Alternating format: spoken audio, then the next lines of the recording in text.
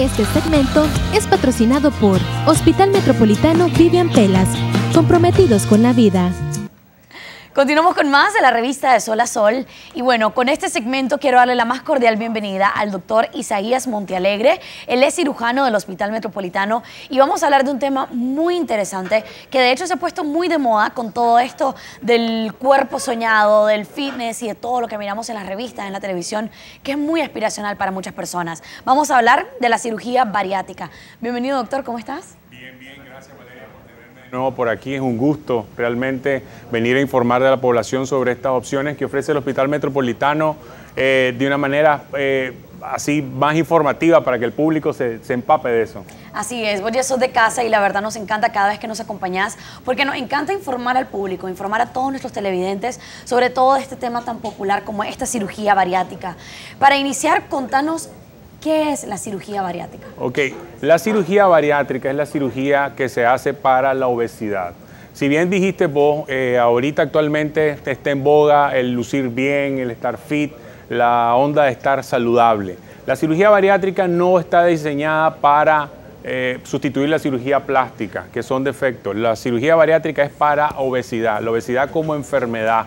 Eh, tenés que cumplir ciertos requerimientos para poder optar a ese tipo de cirugía. Uno es estar con obesidad. La obesidad es una enfermedad, eso que, tenemos que tenerlo claro. Y cumplir con otros eh, parámetros que es tener enfermedades relacionadas a la obesidad, como puede ser diabetes, hipertensión, hipertrigliceridemia, que es colesterol alto, problemas articulares. O sea, que ya el problema del peso sea un problema que te esté causando defectos en tu diario vivir o afectarte tu diario vivir. Ahora, a veces miramos a una persona que está gordita y a, veces podemos ver una persona que está obesa, pero hay una, hay una línea, creo yo, bastante fina y cómo diferenciamos aproximadamente en qué peso se le puede llamar ya a una persona obesa. Ok, la persona obesa, la, gente siempre quiere que le digamos eh, tantas libras de más es obesidad. Realmente existen números ya bien abiertos en los que te puedo decir que una persona que esté 40 libras arriba de su peso ideal es obesa grado 1. Arriba de 60 a 80 libras, obesa grado 2, y arriba de 80 a 100 libras es obesa grado 3. Ahora, el punto está, ¿dónde está tu peso ideal? Existe lo que se llama la ecuación del índice de masa corporal. Con los, con los teléfonos inteligentes ahora basta con bajar una aplicación que se llama IMC o índice de masa corporal y te lo hace automáticamente, pero es tu peso en kilogramos sobre tu altura al cuadrado. Si esa fórmula vos al meter tus, tus datos te da menos de 30, estás en sobrepeso. Si estás entre 25 y 18, estás bien. Pero si estás arriba de 30, es obesidad. Ahora, te quiero decir, el problema está en que actualmente la obesidad está tan de moda, una mala moda, que casi casi que el 60% de la población en Nicaragua tienen sobrepeso. Y de ese o sea, puede ser una obesidad grado 1, obesidad No, sobrepeso, sobrepeso es abajo de obesidad grado 1. Y de ese 60%, un 35% tienen obesidad, obesidad grado 1 para arriba.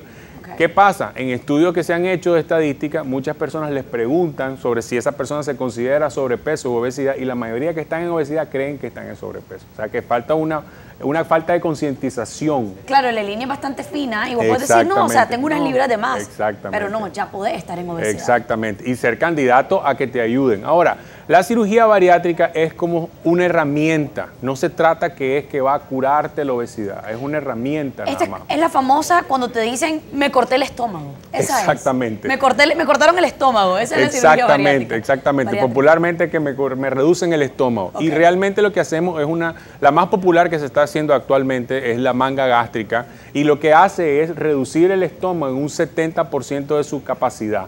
Si en un estómago de un adulto alcanzan 2 litros de, volumen aproximadamente, nosotros le dejamos un cuarto de litro de volumen lo que le vaya a alcanzar. Haceme eso, Entonces lo que, hace, lo que hace esto es que la persona comienza a comer menos. Pero además, el estómago, como mucha gente creía antes que era solamente una bolsa que guardaba comida, no es así. Se producen hormonas y sustancias neurotransmisoras que le mandan señales al cerebro para que el paciente coma determinados alimentos o deje de comer determinados alimentos o se sienta satisfecho. Entonces el meollo del asunto no solamente está en reducir el tamaño del estómago, sino también las secreciones de hormonas y neurotransmisores que se hacen, regulan, entonces el paciente comienza a tener un, un recambio en su metabolismo. Ahora, esto te lleva a que perdas peso de manera efectiva, eh, la mayoría de pacientes llegan a perder de un 70 a un 80% de su excedente de peso. Claro, y que de pronto te llenas súper rápido. Exactamente. Como que, oíme, solo comí dos cucharadas y estoy full. La mayoría, de pacientes, la mayoría de pacientes así es. Y la obesidad, la grasa que vos tenés acumulada en tu cuerpo, es energía.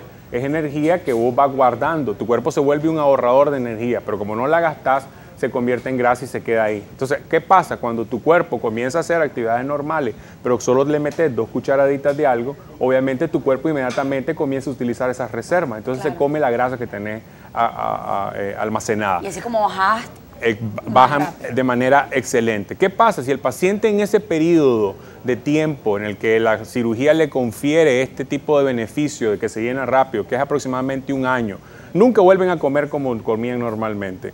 Pero si el paciente no se cambia ese chip de que esto nada más fue un instrumento para poder bajar de peso, y que tienen que hacer cambios en su vida, tienen que ir de la mano de un, de un psicoterapeuta o de un psicólogo, de un nutricionista, el paciente en un 20 o un 25% de los pacientes que se hacen cirugía bariátrica vuelven a subir de peso.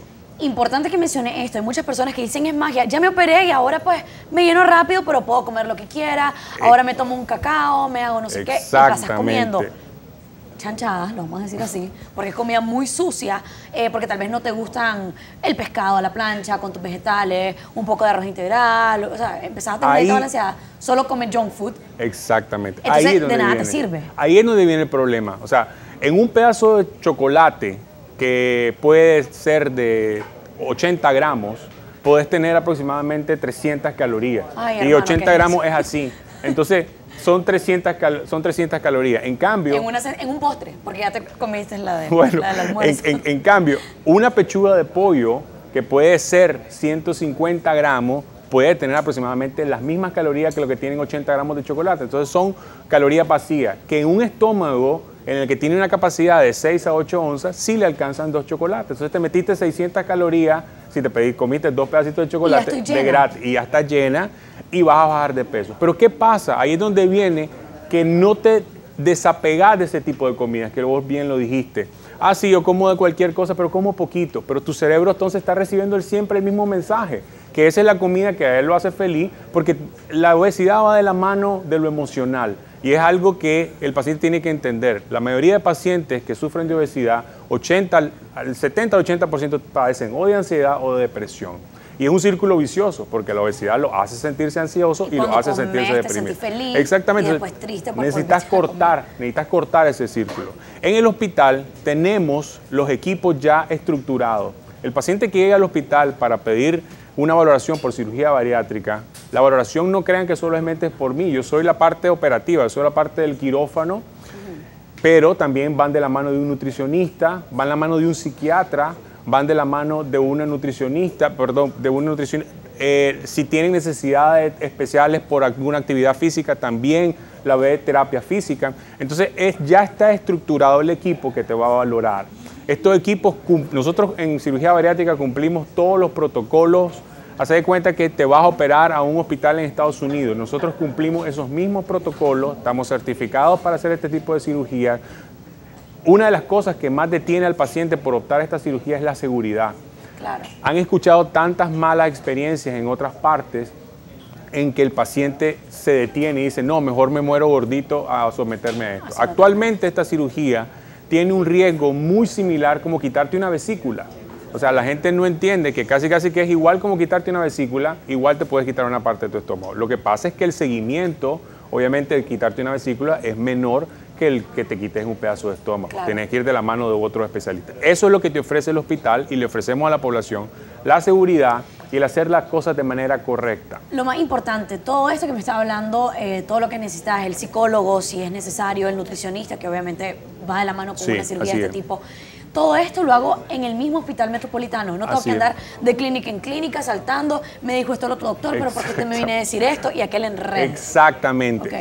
Una de las ventajas que tiene el hospital es que cuando la persona llega, inmediatamente se le pone a la orden una ejecutiva que es la ejecutiva de mercadeo del hospital, y esa paciente, esa persona pero se encarga de llevarte personalmente a cada una de las citas, de hacerte las citas, o sea, te dice cuándo usted desea hacerse tal examen, tal valoración, y lo, hacen, lo hacemos acordado a tu tiempo. O sea, el paciente no tiene que andar pidiendo cita de que ahora tengo que ir aquí a la clínica, ahora voy a ir aquí al consultorio, no, todo se hace en el mismo lugar el paciente eso le brinda seguridad, le brinda el confort, el estarse sintiendo ya más parte del hospital y eso le abre las puertas para hacer preguntas, para hacer dudas. Algo que yo le tengo que decir a los pacientes, no tengan miedo de preguntarle a los doctores. Yo soy doctor, ya se acabó esa creencia de que el doctor era el, después del alcalde del pueblo, era el que más sabía. Ya no, o sea, vayan, pregunten, infórmense. Y esa es la manera en la que usted se va a sentir segura de que su cirugía está en manos adecuadas. La confianza que usted sienta con su médico. Te agradezco, Isaías, por esto. Me alegra saber de que en el Metropolitano tienen un equipo completo, que no es como que, es que me voy a operar Isaías, lo conoce. Con él es que me voy a hacer, porque esas cosas suceden. Así es. Eso sucede. Ahí no, en el Metropolitano, pues como me está explicando, son un equipo completo, por supuesto, 100% capacitado. Y como vos decís, hay muchas personas que dirían, ay, es que yo solo confiaría hacerme una, cirugía así en los Estados Unidos, donde tiene tantos equipos. El Metropolitano ya cuenta también con todos esos equipos y con toda esa tecnología de punta para que tu cirugía sea un éxito. Y, segura. Y segura, lo más importante. Y además que después de tu cirugía puedas realmente seguir con el procedimiento completo. Eso es muy importante. El seguimiento que le damos y que tratamos de que nuestros pacientes sean exitosos en lo que ellos se ponen. Te agradezco por acompañarnos y traernos esa información. Gracias Valeria y gracias al canal. Vamos a ir a una pausa comercial. Ya regresamos con más de la revista de Sol a Sol. Este segmento fue patrocinado por Hospital Metropolitano Vivian Pelas, comprometidos con la vida. Solo por Voz TV, el canal del orgullo nicaragüense.